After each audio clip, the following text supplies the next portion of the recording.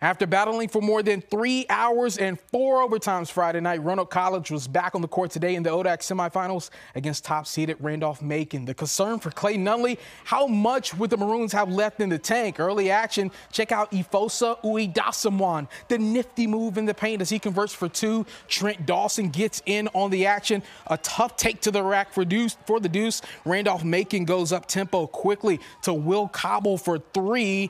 Roanoke College would respond Trip Green provides some offense with the pull up bucket. Not nearly enough today as Miles Mallory led his team with 14 points. Randolph making 62 to 50 win over Roanoke. Women's action, Washington lead taking on Randolph. Quick work for the Generals today. Mary Schleisner, that's all you need to know about this one. Catches the ball in the paint, converts it easily for the two here. Next time down is Schleisner again, lines up a three-pointer. It's 31-14. She had a double-double in this one. The Generals scored a total of 11 three-pointers. They cruised to a 71-45 victory. Your championship matchups for Sunday are as followed. Washington and Lee taking on Shenandoah. And on the men's side, Randolph-Macon will play Guilford, who won on a comeback tonight.